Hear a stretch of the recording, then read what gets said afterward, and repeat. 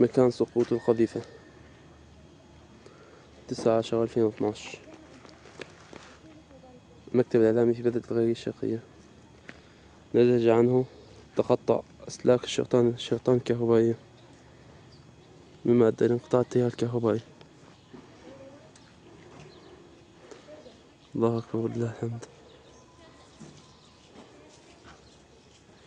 المكتب الإعلامي في بلدة الغربية الشرقية.